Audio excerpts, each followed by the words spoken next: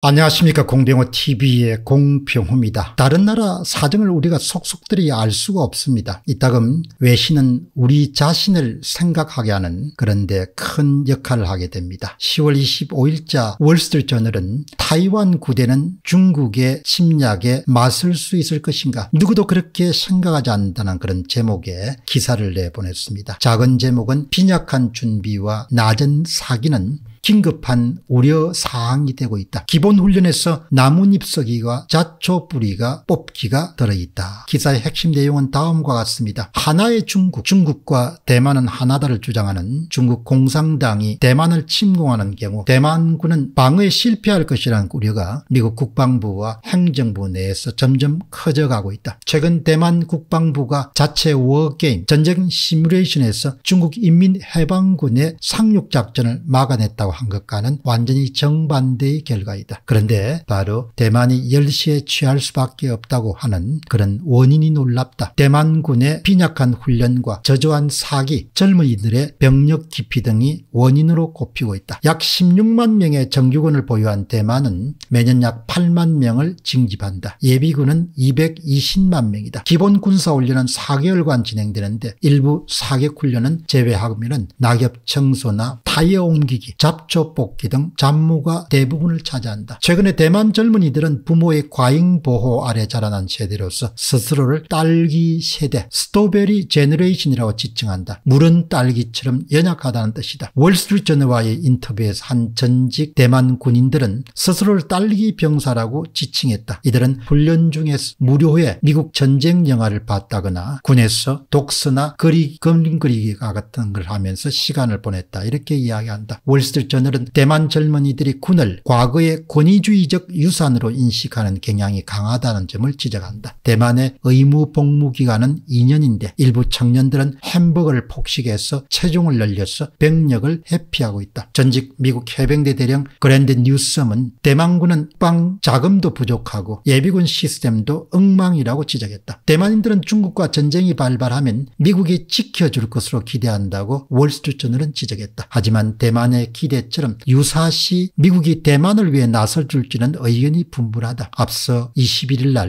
조 바이든 미국 대통령은 대만 방어를 언급했다가 백악관이 기존 입장에서 변한 것은 없다면서 이를 수습해버리곤 했다. 그런데 월스트저널의 이 같은 보도를 뒷받침하는 여러 언론들의 보도가 계속 이어지고 있습니다. 독일 공영국제방송인 DW는 지난 5월에 타이완 현지 보도에서 문제점을 지적한 바가 있습니다. 예비군도 70만 명 있지만 이들이 기꺼이 싸우리라고는 착각하는 이는 거의 없다. 예비군은 2년마다 7일간 소집되지만 대부분 하루 모이면 그만이다. 한편 타이완의 저널리스트인 폴 후왕은 지난해 2월 미국의 외교안보 저널인 포린 폴리시에 이런 비판을 내놓았다. 타이완군은 빈 껍데기에 불과하다. 타이완 섬의 최전선을 지키는 기갑, 기계화 보병, 포병도 필요 병력의 60에서 80%에 지나지 않는다. 또한 내부에서 우려의 목소리도 높아지고 있다. 츄광저 타이완 국방장관은 이렇게 경고한다. 2025년까지 중국이 타이완을 침공할 능력을 갖추게 될 것이다. 중국의 침공 가능성을 믿는 타이완 국민은 전체의 22.3%에 불과하다. 59.6%는 개연성이 없다. 불가능하다고 그렇게 일축한다. 그런데 더욱 놀라운 사실은 타이완 젊은이들의 문제인식이다. 여러 외국 언론과 인터뷰 젊은이들은 중국이 침공하면 전 세계가 가만히 있겠느냐 중국이 국제적 평판이 추락하는데 그렇게 침공하겠느냐 미국 같은 나라가 개입할 것이다. 이런 답을 내놓았다. 이런 사람들의 기대에 대해서 중국이 자유 홍콩을 어떻게 제압했는가를 찬찬히 살펴보면 타이완인들은 아주 큰 그런 충격을 받을 수가 있다. 전체주의 체제 체제라는 것은 국제사의 평판 따위는 별로 개의치 않는다. 그들이 필요하면 언제든지 침략할 수 있다는 것입니다. 저는 이 문제를 이 기사를 접하면서 망각이라는 그런 시각에서 바라보게 됩니다. 나이가 든 세대는 국공 내전의 혹독함을 피해서 대만으로 물러날 수밖에 없었던 그런 세대들입니다. 연령으로 보면 이들 세대는 대부분이 80대나 90대일 것입니다. 그러니까 지금 대만 인구의 대다수는 공산치하를 직접 경험해보지 못한 사람들입니다. 공산치하에 직접 경험해보지 못한 사람들은 그 치하에 놓이는 것이 어떤 것인가 잘알 수가 없는 것이다. 또한 중공 또한 집요하게 정치 공작이나 언론 공장을 해왔을 것입니다. 무장